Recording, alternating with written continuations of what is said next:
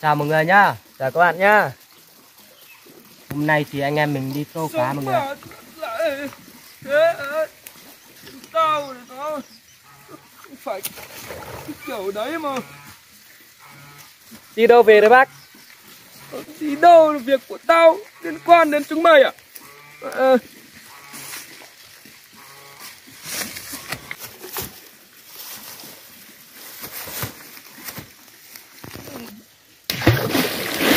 Ông làm cái gì đấy?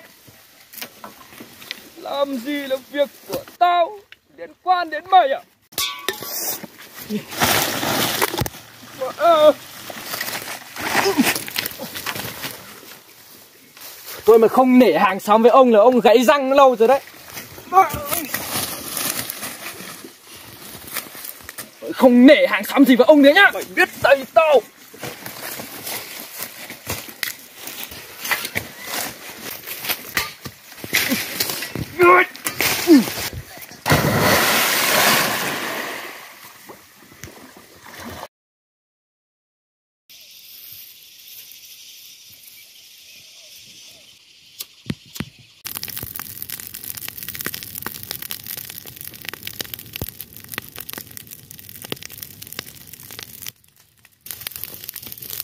ơi, làng nước ơi! Sao là thằng Thủy à? Ôi giời ơi!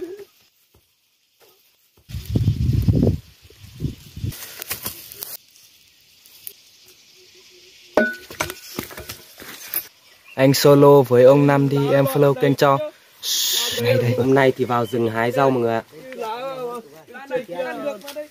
Đi làm gì em lấy được nhỉ? Không lấy đâu. Cái kia con chim có bảo cái lá non rồi một cái lá già già thế này thì ai ăn được? Ở Gỗ này làm nỏ thì đẹp bác nhỉ Ờ. Mày chỉ có ngu là hơn người ta thôi Tùng ạ. Cái lá già như thế này là đến con lợn nhà bác nó còn không ăn.